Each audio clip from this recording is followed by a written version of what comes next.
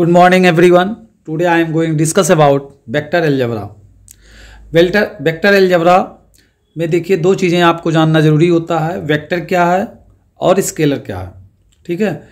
तो सबसे पहले हम स्केलर के एग्ज़ाम्पल से देखिए क्या है। जैसे सपोज़ कीजिए कि आपसे पूछा जाए आपकी हाइट क्या है। तो आप बोलेंगे कि मेरा वन सिक्सटी सेंटीमीटर हाइट है। तो यहाँ पर क्या है? एक क्वांटिटी की ज़रूरत है। और वो क्वांटिटी आपने बताया 160 सेंटीमीटर तो ये क्या हो गया? स्केलर हो गया। लेकिन एक फुटबॉल प्लेयर जब फुटबॉल खेलता है और उसको हिट करता है तो उसे दो चीज़ों की ज़रूरत होती है। एक तो कितने फोर्स से वो मार रहा है और किस डायरेक्शन में जा रहा है। ठीक है? तो इस तरह से वेक्टर में दो चीज़ों की ज़रूरत होती है क्वांटिटी और डायरेक्शन। तो एक चीज़ क्लियर हो गया कि स्केलर में मैग्नीट्यूड होता है और वेक्टर में मैग्नीट्यूड प्लस डायरेक्शन भी होता है। अब देखिए, कुछ ऐसी क्वांटिटीज़ हैं फिजिक्स में यूज़ होता है।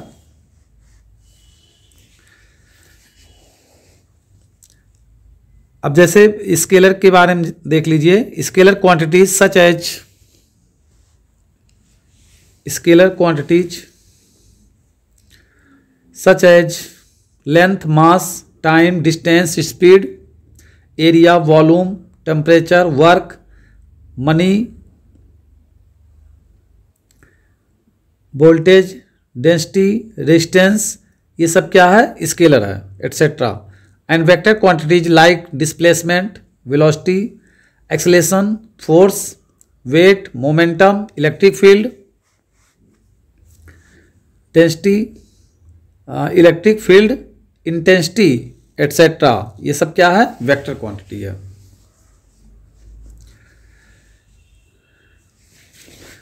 In this chapter we will study some of the basic concept about vectors various operation on vectors and their algebraic and geometric properties these two type of properties when considered together give a full relations realization to the concept of the vector and lead to their vital applica applicability in various areas as mentioned above.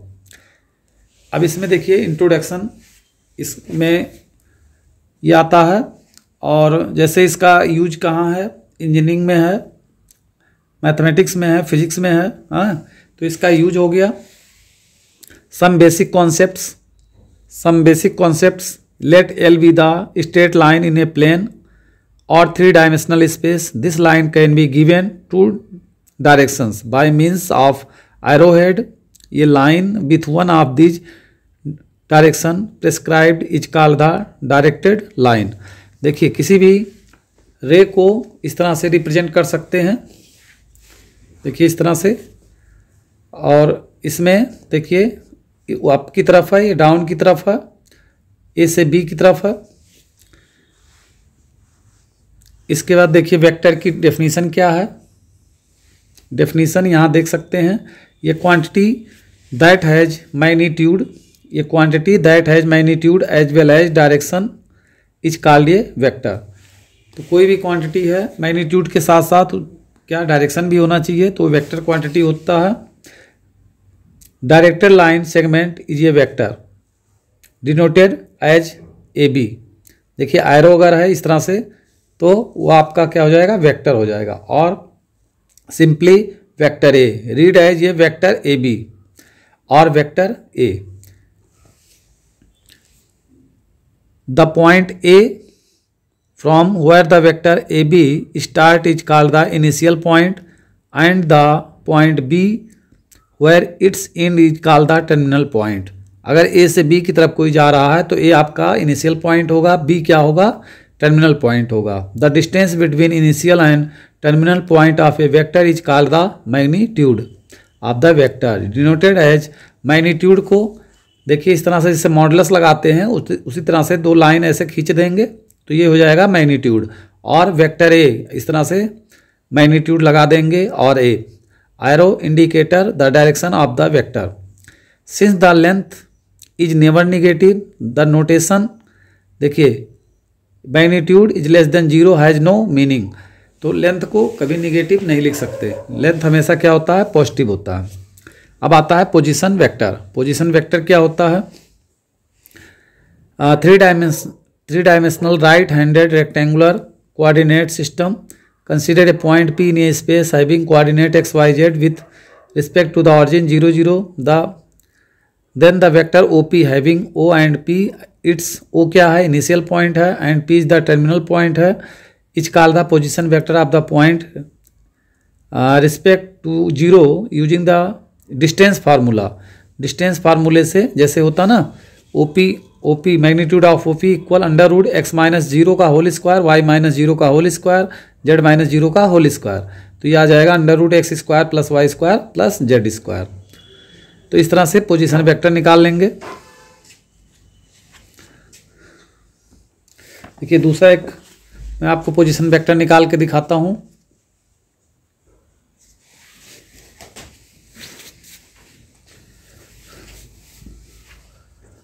जैसे suppose कीजिए,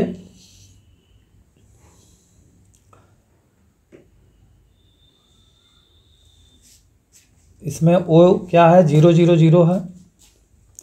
और A है one two three ठीक? तो ओ ए कैसे निकालेंगे?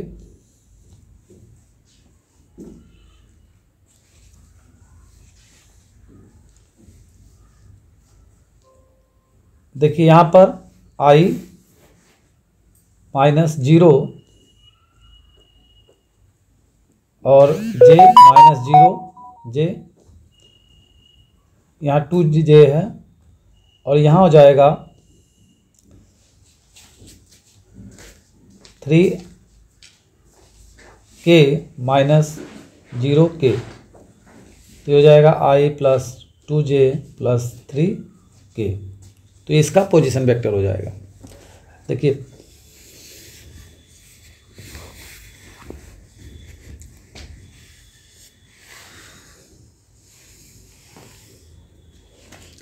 हाँ देखिए डायरेक्शन रेशियोज कैसे निकालते हैं? डायरेक्शन रेशियोज डायरेक्शन रेशियो जैसे दो पॉइंट है ए और बी तो इसका कोऑर्डिनेट है X one Y one Z one इसका है X two Y two Z two तो क्या होगा? X two minus X one Y two minus Y one Z two minus Z one ये इसके क्या हो जाएँगे? डायरेक्शन रेशियोज हो जाएँगे। ये क्या हो जाएगा? डायरेक्शन रेशियोज अब आता है direction cosine direction cosines direction cosines देखिए डायरेक्शन कोसाइन जो होता है यल इक्वल कोसाइन अल्फ़ा होता है। Y M equal cosine beta N equal cosine gamma. एक रिलेशन होता है L square plus M square plus N square equal one direction ratios को ए बी सी से भी रिप्रेजेंट किया जाता है और एल एम एन को एल एम एन को डायरेक्शन को साइंस कहते हैं।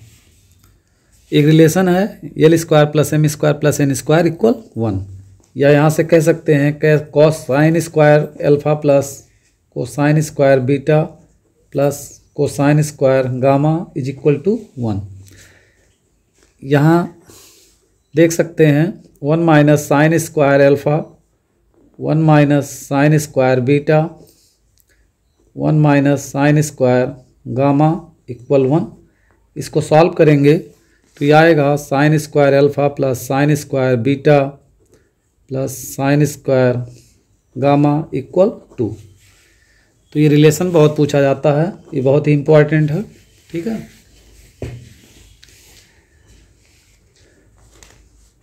अच्छा देखिए यहाँ पर अल्फ़ा बीटा क्या है? आप अल्फ़ा बीटा देखिए, इस फिगर में देख सकते हैं। जैसे पी कोई पॉइंट है, ठीक है स्पेस में, इसका कोऑर्डिनेट है एक्स वाई जेड और यहाँ पर ओ ऑरिजिन है, जिसका पॉइंट है ज़ीरो ज़ीरो देखिए, ये एक्स एक्सिस है, ये वाई एक्सिस है, और ये जेड एक्सिस है। जैसे किसी रूम में आप जा करके किसी कोने पर खड़े हो जाइए तो जो नीचे वाला ये पोर्शन है, ये ऑरिजिन रहेगा और ऊपर की तरफ़ जो होगा, वो जेड एक्सिस होगा। एक तरफ़ जो फर्श में होगा एक्स एक्सिस और वाई एक्सिस होगा। इस तरह से आप समझ सकते हैं। और देखिए ओ पी ओ पी को जब आप मिलाएँगे तो इसको वेक्टर आर कहेंगे यक्स पर देखिए एक्स डायरेक्शन में एक्स डिस्टेंस लिया गया है वाई डायरेक्शन में वाई डिस्टेंस और जेड डायरेक्शन में जेड डिस्टेंस लिया गया। तो कोसाइन अल्फ़ा जब निकालते हैं तो कोसाइन अल्फ़ा क्या होता है? बेस अपान परपेंडिकुलर होता है। कोसाइन अल्फ़ा क्या होता है? बेस अपान परपेंडिकुलर होता है। अब कोसाइन अल्फ़ा जैसे यहाँ से लेना है, देखिए, यहाँ से तो कोसाइन अल्फ़ा लेंगे। तो क्या होगा? Base upon perpendicular. X upon क्या हो जाएगा? O P. X upon O P. और ओपी क्या है? इस्माल आर है। मतलब कह सकते हैं कि कोसाइन एल्फा इक्वल क्या हो जाएगा? X upon O P. और ओपी ही क्या है? इस्माल आर है। ठीक है? इसी तरह से cosine beta equal Y upon R, cosine gamma equal Z upon R अब देखिए एक रिलेशन हमारे पास क्या है? यहाँ से देख सकते हैं L square M square plus N square equal one और यही cos square alpha cos square beta plus cos square gamma equal one है। तो इन तीनों को जब ऐड करेंगे तो यह आएगा X square by R square Y square by R square Z square by R square equal one तो X square plus Y square plus Z square equal R square तो एक रिलेशन हमें ये और मिल गया कि X square plus Y square plus Z square ये हो गया। तो आर इक्वल क्या आएगा? X square plus Y square plus Z square ठीक है? तो ये हमारा ओ पी हो जाएगा और यही आर हो जाएगा। ठीक है?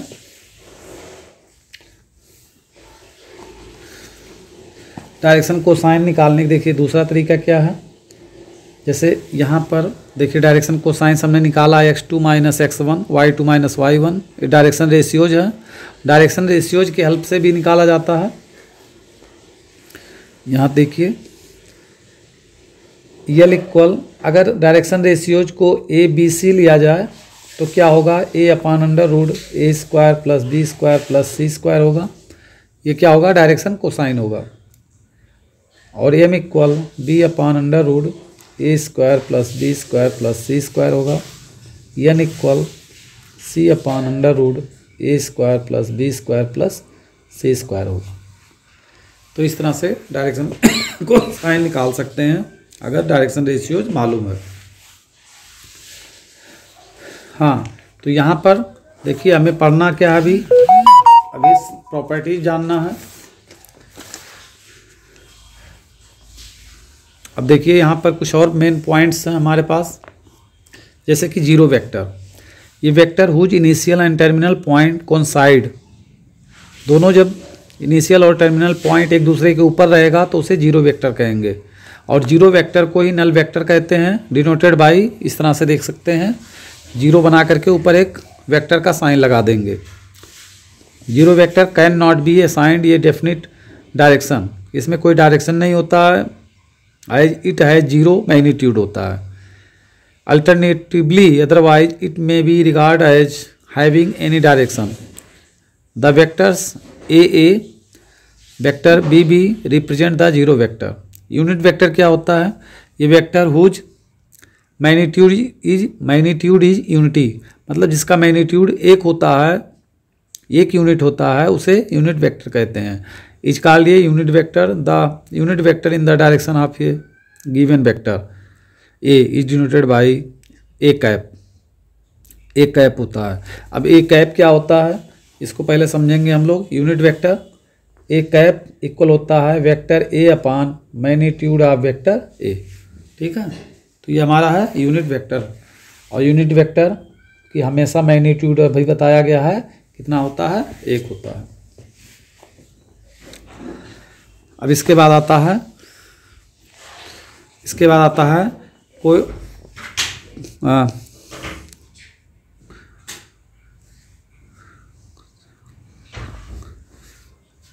कोई इनिशियल वेक्टर कोई इनिशियल वेक्टर्स देखिए क्या होते हैं coinitial vectors two or more having the same initial point. दो या दो से अधिक वेक्टर का जब सेम इनिशियल पॉइंट होता है तो उसे कोई इनिशियल वेक्टर कहते हैं। कोलिनियर वेक्टर क्या होता है? Two or more vectors are set to be a collinear if they are a parallel to the same line parallel to the same line irrespective of their magnitude उनका magnitude अलग अलग हो सकता है and direction ठीक है? But दोनों parallel होना चाहिए. इक्वल वेक्टर्स क्या होता है? Two vectors A and B are set to be equal if they have the same magnitude अगर दोनों का मैग्नीट्यूड सेम होगा और डायरेक्शन भी सेम होगा तो वो क्या होगा? इक्वल वेक्टर होगा। जैसे vector A equal vector B negative of a vector A vector whose magnitude is that same as that the given vector A B but direction is opposite to the opposite of it is called a negative of the given vector अब negative इस तरह से समझ सकते हैं। देखिए, जैसे कोई वेक्टर इस तरह से है। और एक दूसरा वेक्टर इस तरह से है। या ऐसे है और दूसरा ऐसे है। ठीक है? तो यहाँ वेक्टर ए है तो ये माइनस वेक्टर ए होगा। ठीक है? तो इस तरह से वेक्टर अपोजिट डायरेक्शन होना चाहिए। ये भी ऐसा कह सकते हैं, वेक्टर ए है, माइनस ए है। ठीक है? तो ये क्या है? अब देखिए, इसमें ये ए है तो इधर ए है तो इधर बी भी हो सकता है। ठीक है? क्यों? मैग्नीट्यूड अलग अलग रहेगा तो बी भी हो सकता है। तो निगेटिव वेक्टर इस तरह से होता है। इसके बाद देखिए एक एग्ज़ाम्पल है। एग्ज़ाम्पल नंबर वन देखिए, अगर अच्छे से समझ लेंगे कॉन्सेप्ट तो एक्सरसाइज आसान हो जाएगी। रिप्रेजेंट ये ग्राफिकली ये displacement of 40 kilometre 30 degree west of south अब वेस्ट देखिए तो ये इधर आपका ईस्ट होगा, इधर वेस्ट होगा, ये साउथ होगा। तो ईस्ट वेस्ट की बात कर रहा है। Thirty degree west of south. तो साउथ से थर्टी डिग्री वेस्ट मतलब इसके इस तरफ़ हाँ? और ये चालीस, फोर्टी किलोमीटर इसमें काट लेंगे, या फोर्टी, जो यूनिट लेंगे, ये डिस्टेंस होनी चाहिए उसे फोर्टी किलोमीटर। और देखिए, यहाँ साउथ से थर्टी डिग्री पर एक ऐसे लाइन चली जाएगी।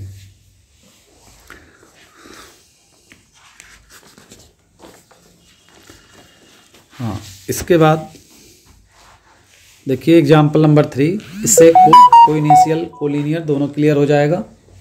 एग्ज़ाम्पल नंबर थ्री ये है। यहाँ से देख सकते हैं, सबसे पहले इस फिगर में हमें बताना है कोलिनियर कोलिनियर का मतलब होता है कि एक ही लाइन में होना चाहिए। तो यहाँ कौन कौन सा कोलिनियर है? इस तरह से देखिए। जैसे ए सी एंड डी देखिए, यहाँ पर ए और सी देखिए सी वेक्टर और डी वेक्टर। देखिए ये सब क्या है? एक दूसरे के सब पैरेलल है। ठीक है? देखिए ये भी ये भी ये भी। तो क्या है तीनों? पैरेलल है तो इसलिए ये कोलिनियर वेक्टर हो जाएगा। इक्वल वेक्टर्स इक्वल वेक्टर में देख सकते हैं, जैसे ए और सी एक ही डायरेक्शन में है, एक ही डायरेक्शन में होना चाहिए और मैग्नीट्यूड भी सेम होना चाहिए तो इक्वल वेक्टर हो जाएगा। और आता है को इनिशियल वेक्टर कोई इनिशियल वेक्टर में जब दो से अधिक दो या दो से अधिक वेक्टर एक ही पॉइंट से निकले जैसे कि बी देखिए, इसका इनिशियल पॉइंट ये है बी और डी और सी तीनों का इनिशियल पॉइंट क्या है? दिस पॉइंट है। यही इनिशियल पॉइंट है। तो इसे कोई इनिशियल वेक्टर कहेंगे। तीनों एक ही पॉइंट से निकले हुए हैं। अब हम लोग एक्सरसाइज करेंगे। पहला क्वेश्चन देखिए, पहला क्वेश्चन क्या है? Represent graphically displacement of 40 kilometre 30 degree east from east of north आप नॉर्थ से, देखिए नॉर्थ से 30 डिग्री लेना। तो इस तरह से, ये देखिए, इस तरह से जाएगा। ये 30 डिग्री हो जाएगा, ठीक है? और इस पर कितना? 40 किलोमीटर लेना। तो ये डायरेक्शन हो जाएगा, ठीक है? नॉर्थ से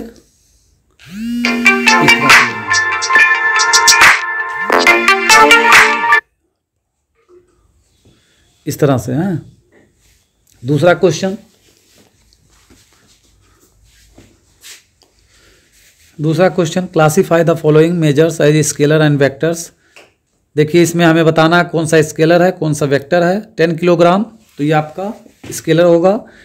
Two metre north west, direction भी दिया है। और मैग्नीट्यूड भी दिया है तो ये वेक्टर हो जाएगा फोर्टी डिग्री। देखिए, फोर्टी डिग्री क्या हो जाएगा ये? ये स्केलर हो जाएगा। और किस डायरेक्शन में देना, जाना है, ये नहीं दिया हुआ है। हाँ देखिए, फोर्टी वाट। फोर्टी वाट, ये क्या हो जाएगा? फोर्टी वाट भी स्केलर हो जाएगा। Ten power minus nineteen coulomb ये भी स्केलर हो जाएगा। लेकिन ये एक्सलेशन है तो ये आप हमारा क्या हो जाएगा? वेक्टर हो जाएगा। Classify the following scalar and vector quantity.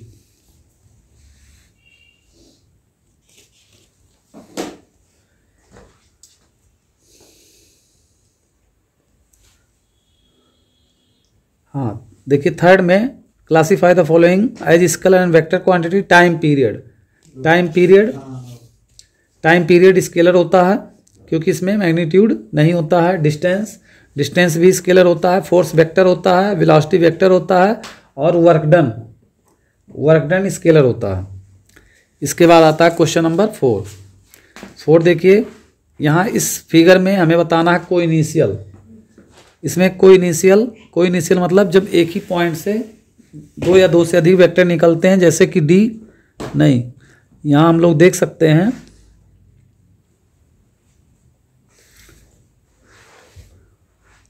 हाँ ए और डी देख सकते हैं। देखिए, ये ए से इस पॉइंट से ए निकला है और इसी पॉइंट से डी भी निकला है। तो ये कोइनिशियल हो जाएगा। इक्वल वेक्टर्स इक्वल वेक्टर्स का मतलब दोनों का डायरेक्शन सेम होना चाहिए। जैसे कि डी और बी डी और बी इक्वल वेक्टर्स हैं। इसके बाद आता है तीसरा collinear but not equal collinear कौन कौन से हैं?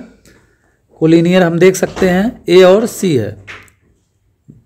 ए और सी क्या है? कोलिनियर है। जब दो वेक्टर पैरेलल होते हैं डायरेक्शन चेंज हो सकता है बट दोनों पैरेलल होना चाहिए कोलिनियर के लिए। तो देखिए ए और सी क्या है? कोलिनियर वेक्टर है, लेकिन इक्वल नहीं है। इसके बाद क्वेश्चन नंबर देखिए लास्ट हमें बताना है A minus A are collinear क्या ये है? ट्रू है या फॉल्स है? हाँ दोनों ट्रू है। क्यों? वेक्टर ए माइनस ए, देखिए एक इस डायरेक्शन में जाएगा तो दूसरा इस डायरेक्शन में जाएगा। दोनों पैरेलल है तो इसलिए कोलिनियर है। बस अंतर क्या है? दोनों पैरेलल तो है, लेकिन दोनों क्या है? अपोजिट डायरेक्शन में है। तो इससे नहीं मतलब है, पैरेलल अगर है तो कोलिनियर है। दूसरा है two two collinear vectors are always equal in magnitude क्या दोनों, दो कोलिनियर वेक्टर हमेशा इक्वल होते हैं? तो ये फॉल्स है, ऐसा नहीं होता है। It is not necessary for two vectors having the same magnet हाँ दूसरा है, देखिए collinear vector are those vectors that are parallel to the same line but they need not to be equal in magnitude third है third क्या कह रहा है? Two vector having two vector having the same magnitude are collinear कह रहा है दो vector का अगर मैग्नीट्यूड सेम है तो कोलिनियर होगा? नहीं फॉल्स है. It is not necessary for two vectors having the same magnitude to be the parallel to the same line और चौथे में कह रहा है two collinear vector having the same magnitude are equal दो कोलिनियर वेक्टर हैं, क्या उनका मैग्नीट्यूड सेम है? हो सकता है, या होगा? फॉल्स इसका आंसर होगा two vectors are said to be equal if they have the same magnitude and direction equal तभी होगा जब डायरेक्शन और मैग्नीट्यूड सेम होगा। रिगार्डलेस और the position of the their initial points hence two collinear vector having the same magnitude need not be equal तो इस तरह से दो एक्सरसाइज हो गई। अब आपको हम समझाएँगे addition of vectors addition of vectors addition of vectors में देखेंगे। हाँ देखिए एडिशन ऑफ़ वेक्टर्स कैसे करते हैं? जैसे देखिए, एक वेक्टर ए बी है और दूसरा बी सी है और पहला ए सी है। तो ए सी को लिखेंगे A B plus B C देखिए A B plus B C equal A C तो ये हमारा addition vector law of vector of addition है। क्या है? Law of vector of addition है। अब देखिए, कोई वेक्टर ए है वेक्टर बी है।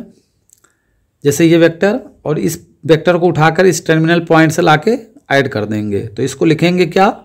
Vector A plus B.